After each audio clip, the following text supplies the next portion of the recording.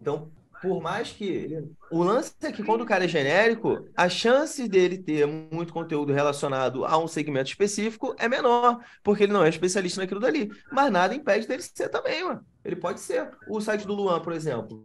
O. Eu tenho de cadeira também. Hã? Eu tenho de cadeira também. Tem de cadeira também? Aí. Tem.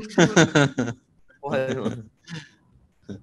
é, então o fato do cara, tipo assim, é, dele não ser específico dentro de um assunto não diz que ele não é autoridade. Ele pode ser autoridade, porque ele pode ter muito conteúdo. O Luan foi o caso desse, ó. Pegou melhor churrasqueiras, melhor churrasqueira elétrica, melhor churrasqueira redonda, melhor churrasqueira gás, melhor churrasqueira. Teoricamente, não tem concorrência, mas ele era tão grande dentro do segmento churrasqueiras elétrica, por exemplo, que ficou em primeiro, entendeu? Não quer dizer que se você fizer um site de churrasqueira elétrica, vai passar o melhor de. Não vai, porque ele também é autoridade naquele segmento. Por mais tem que ganhar autoridade no, no assunto, né? Já tem é, que falar exato. mais, vai ter que é, é, ter tudo mais. Sim, vai ter que ter tudo mais, exato. Por isso que eu falei o, que o GWA, o GWA é, é, um, é um nicho que parecia fácil, mas não é. Ele, ele tem que ter muito conteúdo. Sim, o E é muito, muito conteúdo.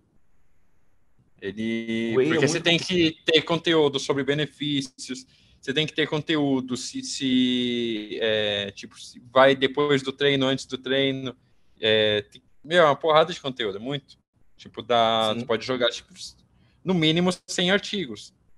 Mas é um, mas é um mercado, é um mercado. Mas aqui, é, igual, por exemplo, esse churrasqueira, né, ele conseguiu passar lá os sites é, Cozinha Profissional, né, é, sites de autoridade no nicho de de churrasqueira, cozinha, etc.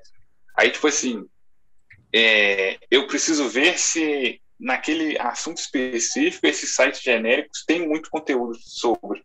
Então, por exemplo, melhor churrasqueira, aí eu preciso ver se o cozinho profissional tem, tipo, 50 palavras, ou 50 artigos sobre esse Sim. nicho. Porque, tipo, aqueles outros pontos que você colocou na primeira lá, a quantidade de páginas, é, tem idade, né, e tal. Todos esses sites, eles são altos nesses pontos, entendeu?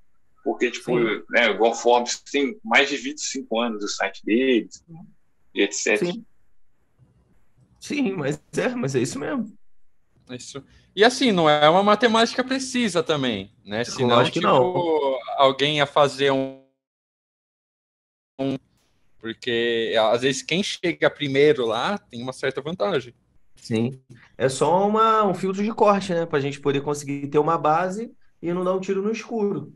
Tu vai ter uma base boa. Bom, se o site ele tem ah, dois anos no ar, pô, significa que é possível chegar lá com dois anos.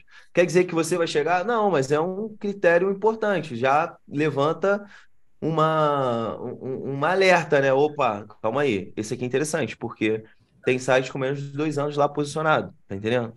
Daqui a pouco vai ver o outro. Pô, o cara não tem backlink, interessante.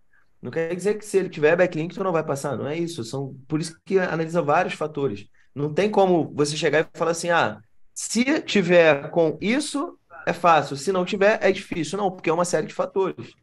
São vários fatores. Dos importantes, tem pelo menos uns 5, 6 para analisar, entendeu? Se você quiser aprender a criar, posicionar e lucrar com o site de afiliados, clique no link aqui da descrição e acesse o meu treinamento gratuito. Te espero lá.